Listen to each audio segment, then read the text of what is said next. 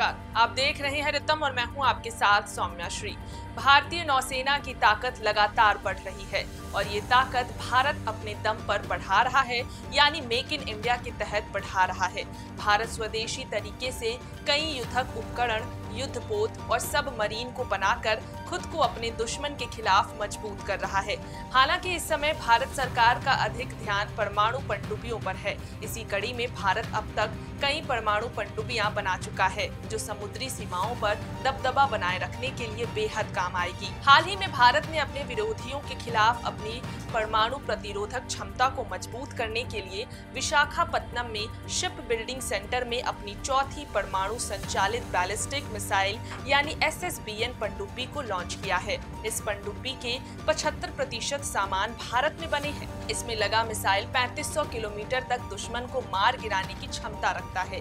ये अपनी तरह की आखिरी पनडुब्बी है, जिसे एस फोर नाम दिया गया है। हालाँकि अभी आधिकारिक नाम की घोषणा होना बाकी है। भारत ने परमाणु पनडुब्बियों के मामले में अपना सफ़र आईएनएस अरिहंत के साथ 2013 में शुरू किया था।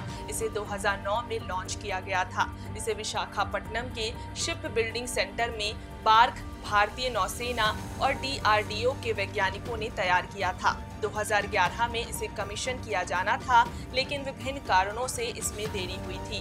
हालाँकि अगस्त 2013 में पनडुब्बी के परमाणु रिएक्टर को सक्रिय किया गया और अगस्त 2016 को प्रधानमंत्री नरेंद्र मोदी ने इस स्वदेशी पनडुब्बी को नौसेना में शामिल किया। इसकी संहारक क्षमता 750 किलोमीटर थी। इसके निर्माण के साथ ही भारत छठवा ऐसा देश बन गया था जिसके पास स्वदेशी परमाणु पनडुब्बी थी। भारत की दूसरी पनडुब्बी थी आईएनएस अरिघाट, जो इसी साल अगस्त महीने में आंध्र प्रदेश के विशाखापत्तनम में रक्षा मंत्री राजनाथ सिंह की मौजूदगी में भारतीय नौसेना में शामिल हुई थी। वो नवंबर 2017 में लॉन्च की गई थी।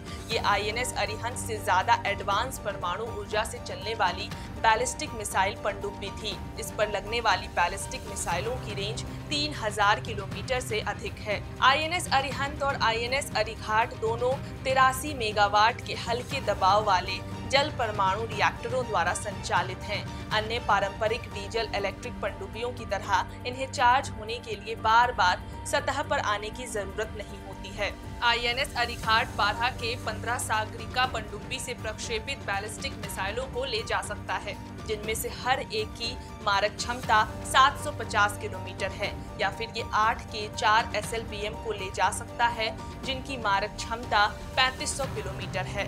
भारत का तीसरा परमाणु संचालित बैलिस्टिक मिसाइल पनडुब्बी है आईएनएस अरिधमन जो 19 नवंबर 2017 में लॉन्च हुआ था और इसके अगले साल भारतीय नौसेना में शामिल किए जाने का अनुमान है। चीन जैसे शक्तिशाली विरोधियों के खिलाफ पनडुब्बी पर केंद्र सरकार विशेष ध्यान दे रही है। यही कारण है कि सरकार ने भारतीय नौसेना के लिए तीसरे विमान वाहक पोत के मुकाबले परमाणु हमले और बैलिस्टिक मिसाइल पनडुब्बियों को प्राथमिकता दी है। रितम मीडिया की नई ऐप आ गई है। जी हाँ देश की उभरती हुई बहुभाषी मल्टीमीडिया रितम ऐप का नया वर्जन लॉन्च कर दिया है। इस नए अपडेट के साथ मिलेंगे आपको ढेर सारे मज़ेदार फीचर्स जैसे ही आप ऐप खोलेंगे, आपको सबसे ताजी खबरों का सेक्शन लेटेस्ट न्यूज़ मिलेगा। इसमें आप देश, दुनिया की हर खबर पीआरएच और देख सकते हैं। साथ ही दिस डे इन हिस्ट्री में जानिए इतिहास की खास बातें। रितम मीडिया ने खास आपके लिए टीवी और वेब सीरीज़ सेक्शंस जोड़े हैं। अब देखिए अलग अलग न्यूज़ चैनल्स और मज़ेदार कहानियाँ। और हाँ सिटीजन जर्नलिज्म को बढ़ावा देने के लिए वीडियो सेक्शन भी है। यहाँ आप अपने इलाके की बातें सब तक पहुँचा सकते हैं।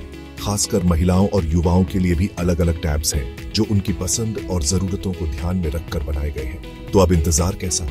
फटाफट गूगल प्ले स्टोर या आईओएस पर जाइए और रितम ऐप डाउनलोड कीजिए। सबसे पहले पाइए अपडेटेड न्यूज़।